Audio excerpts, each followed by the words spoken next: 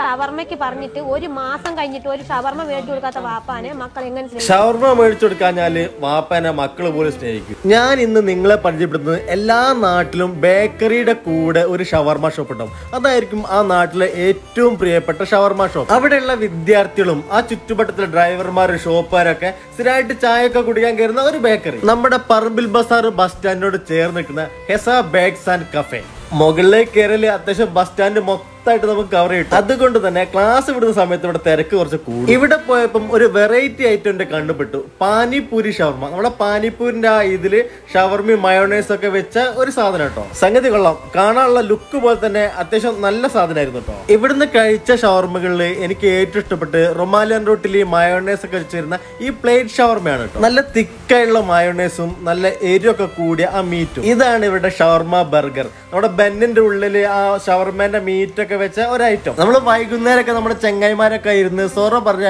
ഭക്ഷണം കഴിക്കാൻ പറ്റിയ നല്ലൊരു സ്പോട്ടാണ് ഇതുപോലെ നിങ്ങളുടെ നാട്ടിലുണ്ടാവും ഏറ്റവും പ്രിയപ്പെട്ട ഒരു ഷവർമ സ്പോട്ടോ ബേക്കറി ഇതുപോലെ ഏതെങ്കിലും ഷോപ്പ് ഉണ്ടെങ്കിൽ എനിക്കൊന്ന് മെസ്സേജ് അയക്കണേ. അപ്പം ഇതുപോലുള്ള മറ്റൊരു വീഡിയോ കാണാം. ബൈ